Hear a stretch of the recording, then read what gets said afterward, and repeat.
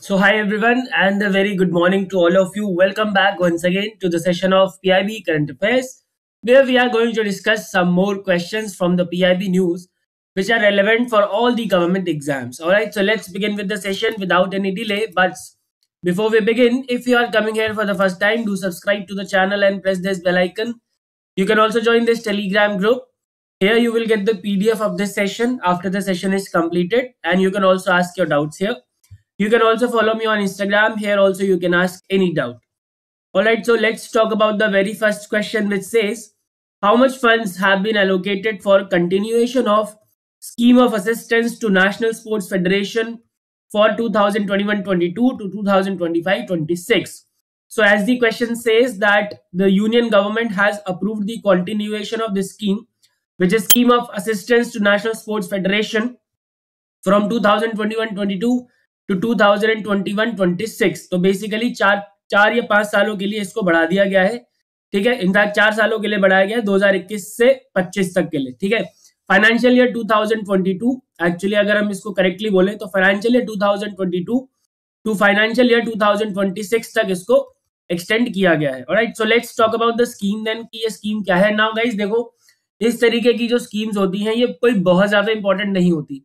but we have to discuss these uh, such type of schemes because they are in news all right so in schemes के हम detail में नहीं जाएंगे और जाने की जरूरत भी नहीं है because that is not required for your exam right so talking about the schemes remember the objective of the scheme is to provide financial assistance to national sports federation नाम से पता चल रहा है scheme of assistance to national sports federation which means some kind of assistance is being provided to national sports federation under this particular scheme now this assistance guys is what?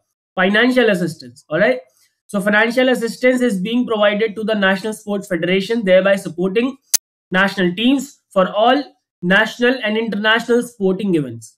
It was launched way back in the year 2001 by Ministry of Youth Affairs and Sport, which is currently headed by Mr. Anurag Thakur, who is also the Minister of Information and Broadcasting. And uh, his Lok Sabha constituency is Hamirpur. Hamirpur, Himachal Pradesh से आते हैं वो, उनकी Lok Sabha constituency है। और जो extend हुआ है पीरियड के लिए मतलब जो चार साल का एक्सटेंडेड पीरियड है, उसका जो आउटले है that is how much rupees one five seven five crore okay so इतना ही पढ़ना है more than this it is not require for the exam right so, that is why the correct answer, guys, will be what? Option d 1575 crore, because the question is how much funds have been allocated for continuation. So 1575 crore is the amount of fund that is being allocated for the continuation of this particular scheme. All right, so now let's talk about question number two. In which of the following northeastern states location for saffron cultivation have been identified under the saffron bowl project?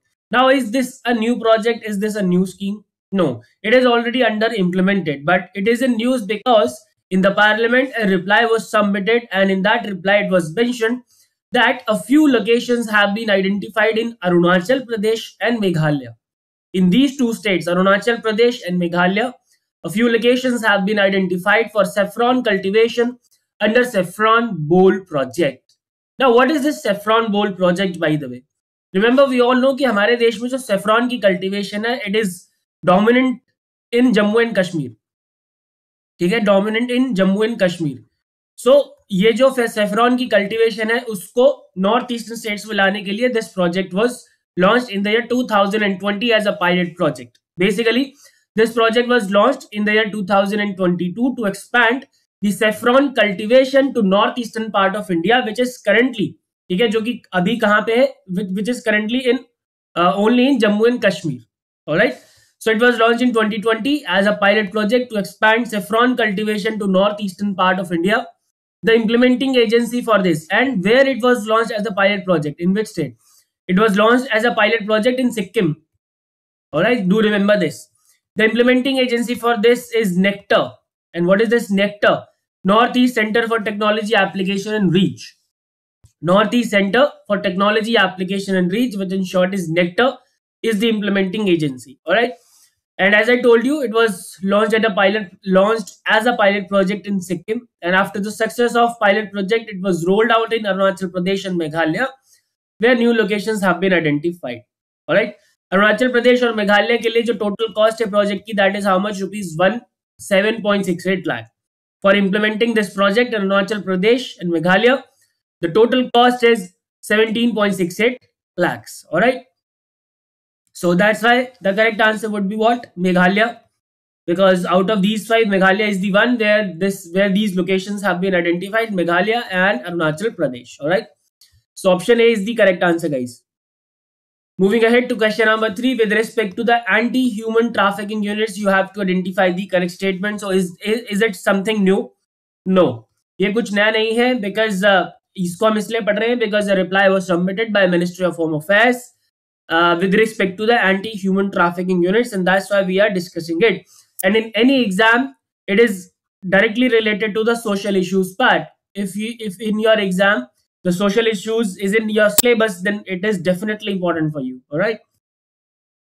So a reply was submitted in which it was said that as per the National Crime Record Bureau's annual publication that is Crime in India 2020, A total 696 anti-human trafficking units have been established across the country. पूरे देश में 696 anti human trafficking units को establish किया जा चुका है as per the annual publication of NCRB that is crime in India 2020 now what is the role of these anti human trafficking units इनका क्या काम क्या होता है? क्यों बनाया जाता है?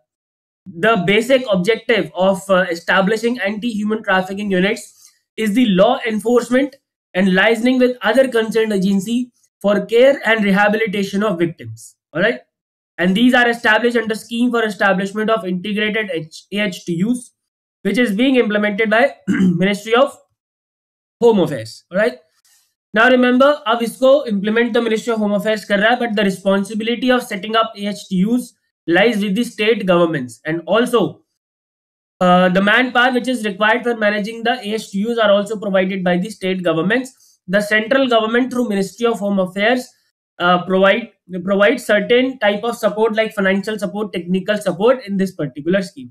बाकी AHTS को AHTUs को सेटअप करने का काम स्टेट गवर्नमेंट का ही है and the manpower required for managing the AHTUs are also being provided by state governments only alright and Ministry of Home Affairs has already provided rupees 100 crore to all the states for implementation of this particular scheme. So now let's talk about the question. We have to identify the correct statement. These units are established by the state governments at district level. This is absolutely correct. It is the responsibility of state governments. State gov uh, central government sorry guys, has the responsibility of providing the manpower required for managing the AHTUs. No, it is the duty, it is the responsibility of state government, not the central government. And Ministry of Home Affairs has provided rupees 100 crore to all the states for implementation of the scheme. ये भी बिल्कुल सही So 1 and 3, which means option C will be the correct answer. So I hope this question is also clear. Now let's talk about the question number 4. Consider the following statements with respect to the scheme for pension and medical aid to artists and you have to identify the correct statement very very important question because इस scheme के बारे में बहुत कम ही जिक्र होता है I believe in the last one year it is the very first time when this scheme is coming news so that's why ये काफी ज्यादा इंपॉर्टेंट हो जाती है so let's talk about this scheme now again it is in news because a reply was submitted uh, by the ministry of culture and in that reply the scheme was discussed all right So talking about this scheme, so remember as the name suggests, scheme for pension and medical aid to artists. All right. So as the name suggests, I always, uh, you know, I always मैं हमेशा ये कहता हूँ कि जो scheme का objective होता है the objective of the scheme can be derived from its name only ठीक है we do not have to go and read all the you know uh, you uh, the, the list of objectives given in the document just focus on the name of the scheme uh, scheme and you would be able to derive the objective of that particular scheme all right? So the objective is to improve financial and social economic uh, status of old aged artists and scholars. Now please focus on this word old aged artists and scholars all right? And these are those artists and scholars which have contributed a lot in their respective in their respective fields but currently are in pecuniary conditions. They do not have uh, uh, that much amount of uh, money to sustain their life ठीक है? तो उनको support करने के लिए this scheme is being implemented by ministry of culture which is headed by mister G Kishan Reddy ठीक है? G Kishan Reddy इसके मिनिस्टर है and is also of course the minister of tourism there are two components under this scheme one is related to pension and one is related to medical aid so national artist pension fund and national artist medical aid fund are the two components of this scheme talking about national artist pension fund now what is the what is this fund इसकी बात कर लेते हैं। So remember all the professional and non-professional artists who are above 60 years of age and who have annual income less than rupees 48,000 are eligible under this particular scheme. And there is one more condition that the application should already be getting a pension of at least rupees 500 per month from the concerned state government or the UT administration. Okay, so these are the three conditions for getting eligible under this National Artist Pension Fund. Now, what are the support provided by the government? What are the what is the nature of financial assistance? So the financial assistance, guys, is provided in the form of monthly allowance, which is a maximum of rupees forty eight thousand per month. है कितना है चार हज़ार per month and out of this four thousand five hundred at least should be provided by the state government जो ये वाले five hundred थे जो पीछे हमने देखे ठीक है the five hundred at least should be provided by the state government और the UT administration and the rest 3500 will be provided by the central government and that this amount is the maximum that the central government would provide under this particular scheme okay Now talking about National Artist Medical Aid Fund. So this is to provide a convenient and affordable health insurance coverage to the existing beneficiary artist. Now what is the meaning of existing beneficiary artist? Existing beneficiary artist under the National Pension Fund. जो ये national artist pension fund है उसके under जो already existing beneficiaries है they would get a health insurance coverage and their spouse will also get this coverage uh, under the national artist medical aid fund all right and who are the eligible beneficiaries so all the existing beneficiaries who are getting financial assistance under the pension fund and expenses of providing health insurance is completely borne by the central government there is no uh, there is no contribution from the state government side in this particular component all right so that's it about this news and now let's come back to the question you have to identify the correct statement annual income of beneficiary should be less than 60000 60000 it is 48000 Alright, and central government's contribution, sorry, shall not exceed rupees 3500 per month. Yes, this is absolutely correct. And state governments have to contribute at least rupees 500 per month. At least 500. Matlab, they could also contribute more than 500. Alright. In that case, the state government, uh, central government share will reduce. Expenses of providing health insurance is borne by the central government. Ye bhi sahi hai. So only 2 and 3 option B will be the correct answer. And let's talk about the question number five, which is the last question for today. Very, very important question. Definitely आपके exam में आने वाला है ये. So consider the following statements with respect to towns of export excellence and you have to identify the correct statement. This is again this is nothing new but ये बहुत कम news में आया है आज तक ठीक है what is the meaning of towns of export excellence ऐसा बहुत कम देखा जाता है so this time it is in news and that's why there is a huge chance that it is going to be asked in your exam all right so it is in news because recently a reply was submitted with respect to the towns of export excellence. And in that reply, it was said that 39 towns have been recognized as towns of export excellence under the foreign trade policy. Foreign trade policy के अंदर towns of export excellence 39 towns of export excellence को recognize किया गया है alright now what is the meaning of towns of export excellence इसका मतलब क्या होता है remember a town which is producing goods of rupees 750 crore or more a town which is producing goods of rupees 750 crores or more can be recognized as towns of export excellence now why why it is can be recognized is there any more condition yes the, the, uh, the another condition is the potential of growth for exports. okay so it is not enough that you are producing goods of 750 crore or more then you will be recognized uh, uh, basically that town will be recognized as towns town of export excellence. There is one more condition and that is the town should have a good potential of growth for the exports. Only then that town will be recognized as town of export excellence. All right but यहाँ पे एक बात याद रखेंगे for town of export excellence in handloom handicraft agriculture and fisheries this threshold limit of seven fifty crore is rupees how much one fifty crore ये जो threshold limit यहाँ पे सेवन फिफ्टी करोड़ की है, वो कम होगी कितनी हो जाती है?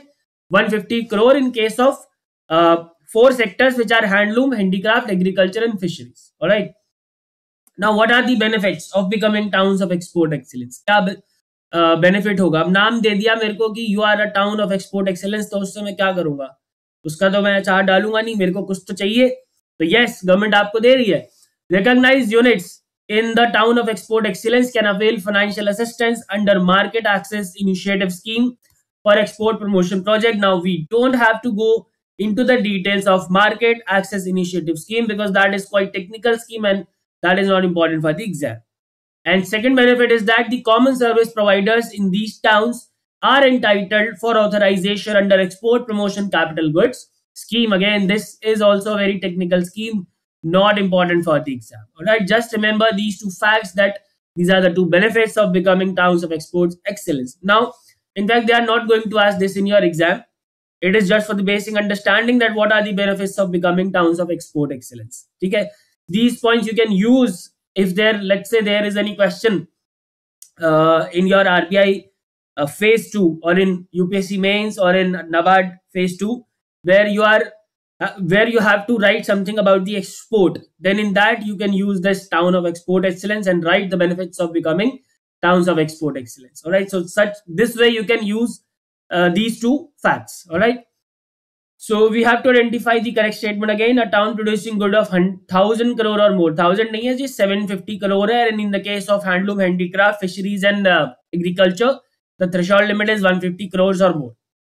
Units in uh, the town of export excellence can avail financial assistance under market access initiative scheme. बिल्कुल सही बात है. Thirty nine towns have been recognized as the towns of export excellence under foreign trade policy. ये भी बिल्कुल सही है. So only two and three will be the correct answer, guys, to this question. All right. So that's it for the session today. I hope all the questions are clear. If you have any doubts, you can ask me in the comment section. Thank you so much for watching. I'll see you in the next session on Wednesday. Goodbye, take care, and God bless.